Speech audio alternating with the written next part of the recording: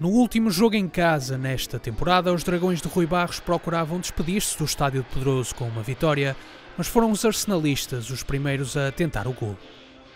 Rodrigo criou a primeira ocasião de perigo através de um livre direto, que serviu de aviso para o que aconteceria aos 36 minutos.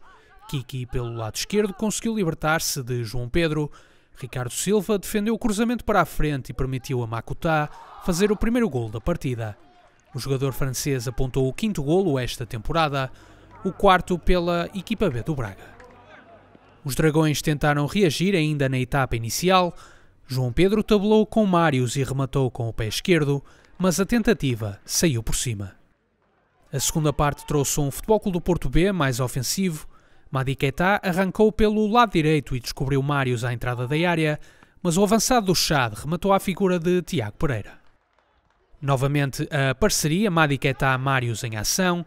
O extremo cruzou na perfeição para a cabeça do ponta de lança. A finalização deixou a desejar. A 20 minutos do fim, os azuis e brancos tiveram a melhor oportunidade de golo em toda a partida. João Pedro libertou Rui Costa no interior da área. O avançado ainda conseguiu afastar o guarda-redes do lance, mas rematou ao poste.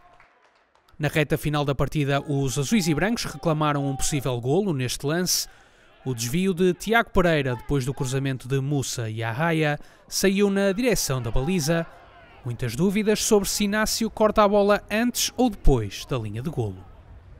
Até ao apito final, Irala tentou o empate com um remate em vôlei, mas a tentativa saiu na direção do guarda-redes. A pouca eficácia tramou os portistas que seguem há seis encontros sem conseguir vencer, o último jogo da temporada disputa-se em Guimarães no próximo domingo.